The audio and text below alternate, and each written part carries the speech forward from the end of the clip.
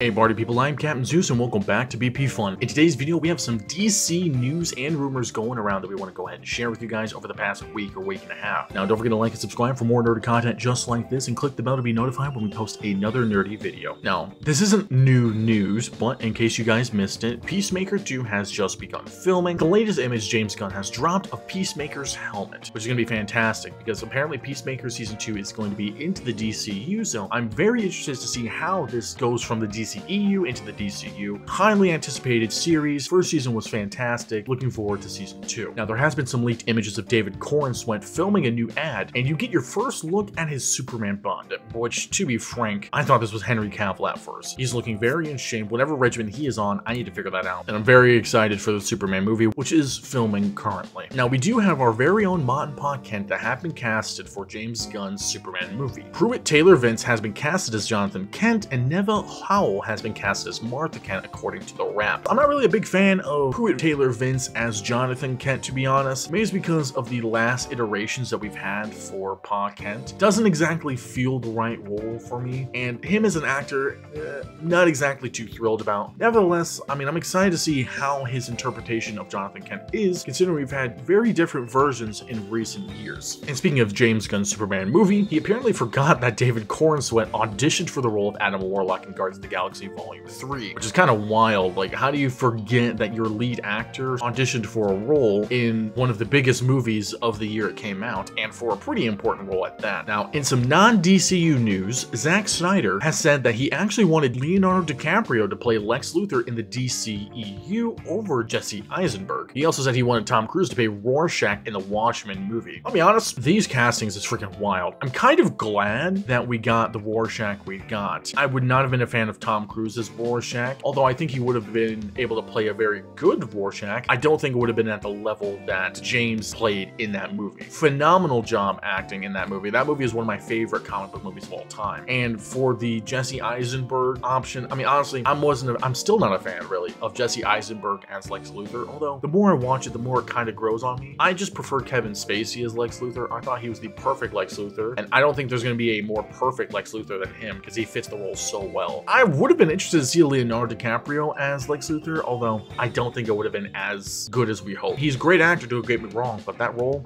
I don't know. Y you need to have a certain type of person play that role. So we're gonna have to see how Nicholas Hoult does in Superman, because honestly, I'm also not a fan of him as Lex Luthor. But then again, I'm trying to compare everyone to Kevin Spacey. That's just my personal opinion. Now we also have season two of Adult Swim's My Adventures with Superman series coming soon with a poster and teaser trailer release. This series has had a lot of mixed reviews, although mostly positive in terms of the animation and the story. The only negatives that have really been coming out was the race washing as well as the toxic Lois Lane that they had in this series, which seems to be a common trend as there was a similar version with Amber and Invincible. So we'll have to see how this series comes out. I watched the first episode when it came out. Didn't exactly appeal to me too much. I thought it was cute, cool-ish, kinda, not really. Wasn't my cup of tea, but apparently it's good enough to go for a season two, so we're gonna have to see as to what this, uh, what season two is going to entail It seems to have something to do with the Fortress of Solitude. But that's to be it for me here. Let me know in the comments below what you guys think about this DCU news and rumors. I'm Captain Zeus, and I'll catch you guys later.